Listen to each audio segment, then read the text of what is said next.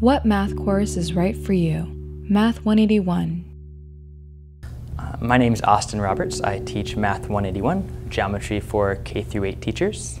This class is aimed for uh, future K through 8 teachers. Um, also, people who want to take ELL will often take this class as well.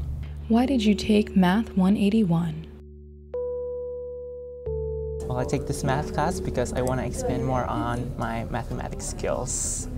Because it's because uh, I know that it's vital for elementary education. Um, I took this math, math class uh, to get a feel for whether or not I want to pursue mathematics education. I still didn't uh, know career-wise whether or not I should teach elementary school, middle school, or even college. Um, and so I wanted to take a class where the content itself wasn't too heavy compared to continuing my calculus courses. At the same time, want to feel for um, what education would feel like and uh, whether or not teaching would be something that I would like to explore.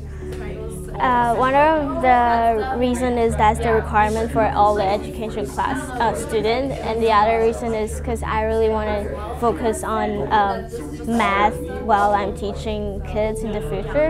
So I really want to learn like how to teach kids how to explain math to them because this class is more focused on the explanation and the reasoning of why we're doing this. I took this math class because I need it to graduate.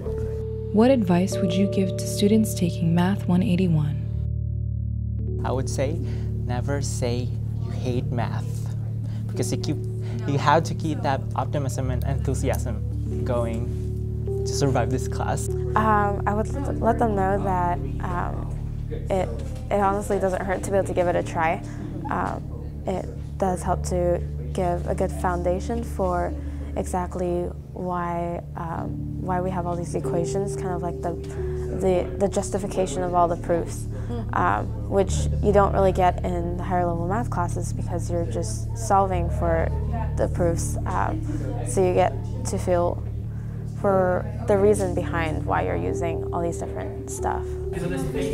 Um, maybe read ahead the textbook because in this class I think everyone have different level of geometry because a lot of students they learn the high school but some yes some no so um, I think read ahead the textbook it will help a lot to let you stay the same level as everyone. The advice I'd give students for taking this course is to do your homework and make sure to hit up the math center. They'll help you out.